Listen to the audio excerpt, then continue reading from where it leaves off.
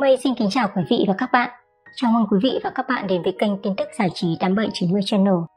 Quý vị và các bạn thân mến, sau rất nhiều tin đồn thổi về tài nguyên phim ảnh của Tiêu Chiến thì cuối cùng cũng có câu trả lời.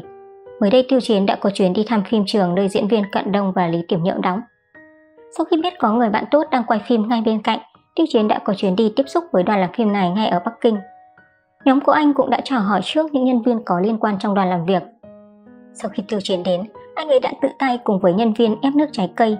Tiêu Chiến còn mời cả đoàn uống trà sữa. Đó là trà sữa trái cây và ít đường. Anh ấy biết rằng các cô gái không thích quá ngọt vì sợ rằng sẽ càng tăng béo hơn. Một nhân viên đã tiết lộ rằng hương vị của món trà sữa này thực sự rất ngon. Đó là một nhãn hiệu trà trái cây nào đó. Tiêu Chiến thực sự là một người rất coi trọng việc giữ gìn sức khỏe. Anh ấy đặc biệt chú ý đến các chi tiết nhỏ khi đối xử với người xung quanh. Thời gian trước, Tiêu Chiến cũng đã tặng túi quà có cốc giữ nhiệt cho đoàn kịch Như Mộng Truy Mộng. Và thật tình cờ trong số các nhân viên được anh ấy tặng trà sữa cũng có fan đen của Tiêu Chiến. Ban đầu khi nghe tin anh ấy đến, họ có vẻ không thích lắm.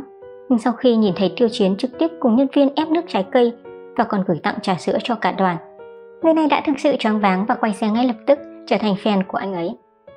Một cư dân mạng cho biết mẹ của bạn ấy rất hâm mộ Tiêu Chiến. Khi nghe anh ấy nói Tiêu Chiến đã đến, mẹ bạn ấy liên tục nhắn tin hỏi thăm.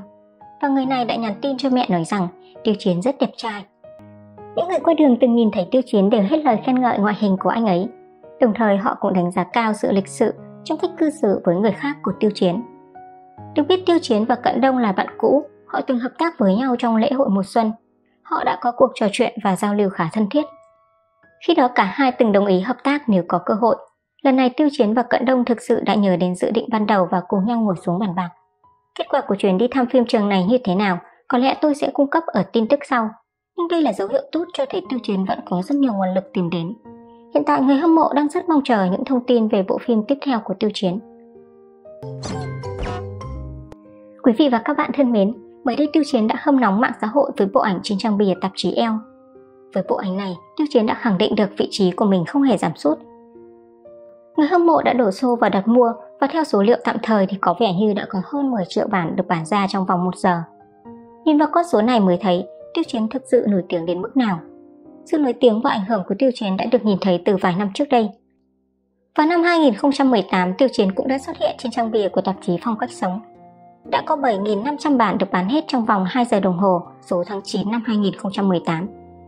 Khi đó người hâm mộ quốc tế hầu như chưa biết đến Tiêu Chiến. Tiêu Chiến cũng mới chỉ là tân binh trong ngành công nghiệp giải trí Trung Quốc. Tạp chí đã bán ra 7.500 bản trong vòng 2 giờ đồng hồ. Đây cũng là một con số đáng ghi nhận đối với một tân binh. Khi phát hành bom tấn mới của Tiêu Chiến, em đã đề cập đến những đoạn phỏng vấn của Tiêu Chiến trước đây. Tiêu Chiến đã nói rằng nếu không thay đổi đối với tôi là làm sao để mang đến cảm xúc chân thành cho khán giả, chứ không thể cứ đam mê là được. Cảm xúc tập trung đến 100% rồi, nhưng khán giả chỉ cảm nhận được 50% thì sao? Quý vị và các bạn thân mến, fan đen vẫn không ngừng tuyên truyền rằng Tiêu Chiến đang bị các nguồn lực bỏ rơi sau chiến dịch thanh lãng. Tuy nhiên, sự thật lại hoàn toàn ngược lại. Công việc chuẩn bị cho buổi chụp hình trên trang bìa tạp chí Elle này đã bắt đầu từ đầu năm. Thời gian chuẩn bị là cả năm trời, cuối cùng cũng đã được phát hành. Điểm đặc biệt ở bộ ảnh lần này của Tiêu Chiến, bạn có biết là gì không? Chuyên gia trang điểm cho toàn bộ buổi chụp hình cũng do Tiêu Chiến mang đến, là người của anh ấy. Với những tạp chí hàng đầu, họ thường khắt khe hơn trong khâu tuyển chọn, và đương nhiên, chuyên gia trang điểm thông thường sẽ do tạp chí chỉ định. Do đó, thực lực của Tiêu Chiến thực sự không thể coi thường. Thậm chí người ngôi sao có thể ghen tị chuyên gia trang điểm của chính anh ấy mang đến và các tạp chí hàng đầu đã phải ủng hộ. Mới đây Tiêu Chiến cũng đã đăng bài viết trên tài khoản cá nhân của mình.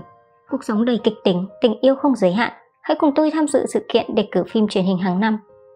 Được biết sự kiện này bắt đầu vào ngày mùng 1 và sẽ kết thúc vào ngày mùng 7 tháng 12 Sau khi khóa đề cử phim truyền hình hàng năm thì hạng mục nhân vật phim truyền hình được yêu thích nhất cũng sẽ bắt đầu khởi động vào ngày mùng 8 tháng 12 Tuy nhiên ban tổ chức cũng thông báo kết quả cuối cùng sẽ do nhóm chuyên gia quyết định và tham khảo sự gợi ý từ người hâm mộ.